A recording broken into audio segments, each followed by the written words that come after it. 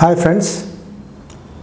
ఇది ఒక ఇప్పుడు బాగా హాట్ టాపిక్ ఏంటంటే భారతదేశం ముఖ్యంగా ఇండియన్ ప్రైమ్ మినిస్టర్ మోడీ మీరు గత తన తొమ్మిది పదేళ్ళ ఆల్మోస్ట్ జీవితంలో మీరు చూసుంటారు. ప్రధానమంత్రిగా రెండోసారి ఆల్మోస్ట్ ఒక ఏడేళ్ళ ప్రధానమంత్రి దీంట్లో. రకరకాల వేరే దేశాలు ముఖ్యంగా అగ్రరాజ్యాల యొక్క చాలా ముందుకు పోయినటువంటి దేశాల యొక్క ప్రెసిడెంట్లతో కానీ వాళ్ళ కలవడంలో కానీ. ఎందుకంటే మీరు గత సంవత్సరం ఆస్ట్రేలియా విషయంలో తీసుకుంటే ట్వంటీ ఫైవ్ ఇయర్స్ తర్వాత ఏ- ఏ ప్రధానమంత్రి కూడా ఆల్మోస్ట్ కొన్ని ట్వంటీ ఫైవ్ ఇయర్స్ అంటే ఒక ఐదు రూప ఆరుగురు ప్రధానమంత్రులు మారినాక కూడా ఆయన పోయినటువంటి స్థితి చూసినారు. కానీ నిజంగా కూడా ఈరోజు hats off to Modi. Maybe ఏదైనా కారణం కావచ్చు రిజల్ట్ ఏమైనా కావచ్చు కానీ ట్రంప్ కానీ లేకపోతే అంతకుముందు రష్యా రాష్ట్రపతి కానీ ఇవన్నీ చూస్తే మీకు ఒక విషయం ఏంటంటే భారతదేశం ఏమో ఎలా ఎదుగుతుందో ఎంత ఫైనాన్షియల్గా పోతుందో ముందుకు కానీ ఈవెన్ ప్ర పాకిస్తాన్ ప్రెసిడెంట్ దగ్గరికి వెళ్ళి వాళ్ళ అమ్మకు దండం పెట్టి కానీ తర్వాత ప్రెసిడెంట్తో వాళ్ళ ఇంట్లో భోజనం చేసి కానీ అంత స్థాయిలో అంటే పాకిస్తాన్తో కూడా పోయినటువంటి ప్రధానమంత్రి మోడీ. వీటి కారణాలు ఏముండొచ్చు? ఏదైనా స్వార్థం ఉందా ఇందులో? Is there any selfish motive నాకు తెలిసినంతవరకు వరకు నాకైతే ఏమనిపిస్తుందంటే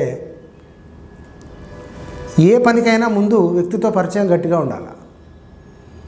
అంటే ఆయా సమయాలు వచ్చినప్పుడే వెళ్ళి మీ వల్ల మాకు అవసరం ఉందనో లేకపోతే ఏదో ఆ గొప్పగా మీరు ఉపయోగపడతారని చెప్పకుండా ఎందుకంటే ప్రస్తుత ట్రంప్ మన దేశానికి వచ్చినటువంటి అమెరికన్ ప్రెసిడెంట్ ట్రంప్ యొక్క వివరాల్లోకి వెళ్తే ఈయన అక్కడికి వెళ్ళినప్పుడు ఇచ్చినటువంటి మర్యాద మనల కోసం కాదు పిలిచిందని నేనైతే అనుకుంటున్నా. ఈరోజు భారతదేశంపై అమెరికా కూడా ఆధారపడి ఉన్నటువంటి విధానం మాత్రం కనబడతా ఉంది. ఎందుకంటే ఇప్పుడు సాంకేతిక రంగంగా ఆల్రెడీ టెక్నికల్గా మన వాళ్ళు చాలామంది చాలా పెద్ద కంపెనీస్లలో సీఈఓలు కూడా ఉన్నారు. మీరు అదొకటి గమనించుంటారు. గూగుల్ కానివ్వండి మీరు మైక్రోసాఫ్ట్ కానివ్వండి ఈవెన్ పెప్సీ కానివ్వండి మీరు ఎన్నైనా తీసుకోండి.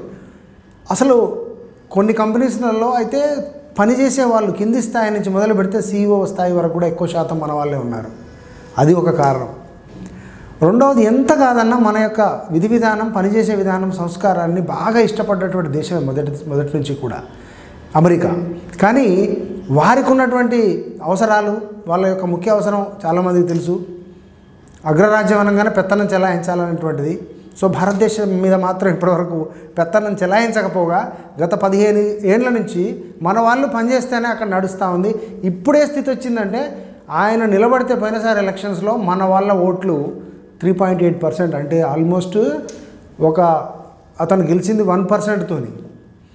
అంటే మన భారతీయులు సహకరిస్తే కానీ అమెరికన్ ప్రెసిడెంట్ కూడా కానీ స్థాయి దిశ ఏర్పడదని ఖచ్చితంగా చెప్పచ్చు. దాన్ని మన వాళ్ళు ఎందుకు పిలుస్తున్నారు? అంటే ఆనాడు జార్జ్ బుష్ కానీ తర్వాత క్లింటన్ కూడా తన దారిన ఒకసారి భారతదేశానికి వచ్చి వెళ్ళాడు. ఎన్నో విషయాల మీద ఆయన కూడా చర్చలు చేశాడు.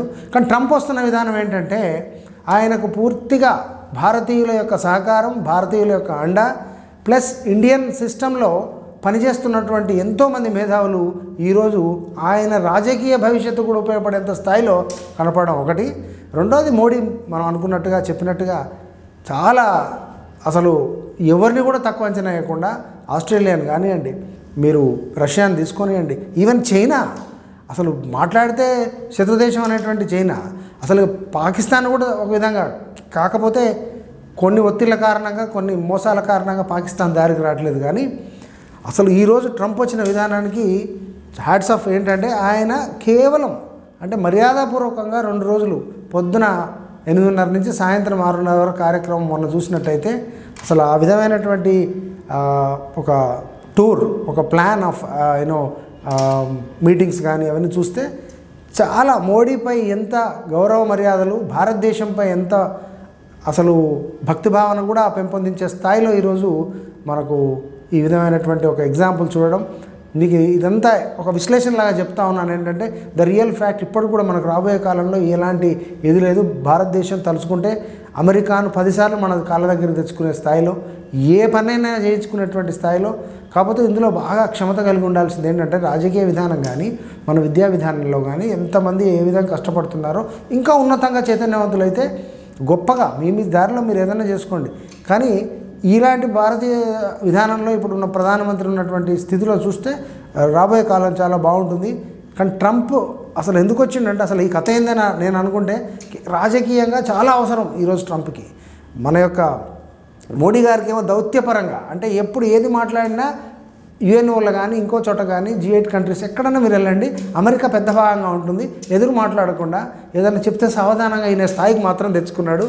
చాలా hats off to Modi as well you know మన అందరి మేధావులు ఎవరెవరైతే ఇలా అమెరికాను తల ది- దించి దించుకునే విధంగా మనం అంటే ఒక మర్యాదగా చూసే విధంగా తయారు చేసిన వాళ్ళందరికీ hearty congratulations and many many thanks